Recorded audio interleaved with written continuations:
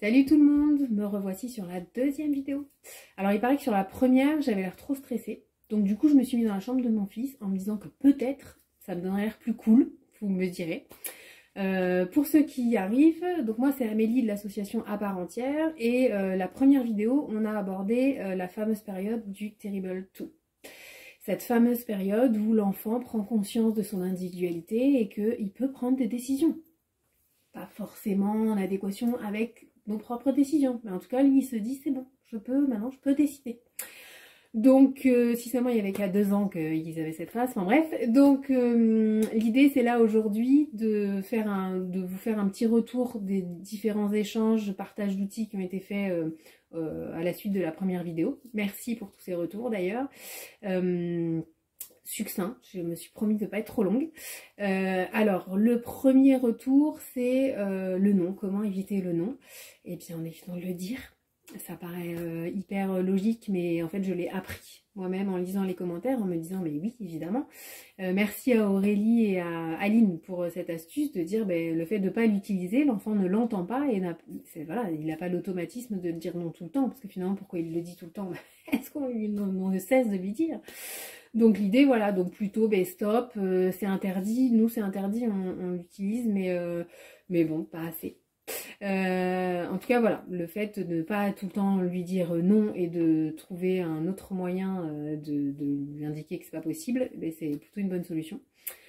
Ensuite, euh, comme pour éviter un petit peu euh, les phases de frustration ou, euh, les potentielles crises qui peuvent arriver, c'est le faux choix, un peu donner l'impression à l'enfant que oui, on va lui donner le choix entre les chaussures de telle ou telle couleur, mais quoi qu'il en soit, il faudra mettre les chaussures. Après, il peut choisir entre celle-là ou celle-là, peu importe, mais voilà, le résultat c'est que il aura l'impression d'avoir ce choix et il le fera. Pareil pour les repas. Eh ben ok très bien tu veux manger euh, tu veux manger tes haricots ou ta viande ou voilà avec euh, la fourchette ou la cuillère bleue ou la cuillère rouge. Bon il faut avoir euh, deux cuillères de chaque couleur mais je vous fais confiance. Mais l'idée voilà l'idée c'est de lui donner un petit peu voilà cette impression de choix ensuite dernière astuce parce qu'après sinon je vais être trop longue c'est de parler beaucoup à l'enfant. En tout cas nous c'est ce qui fonctionne aussi ici c'est de décrire la situation quand on sent qu'il y a une petite frustration qui arrive.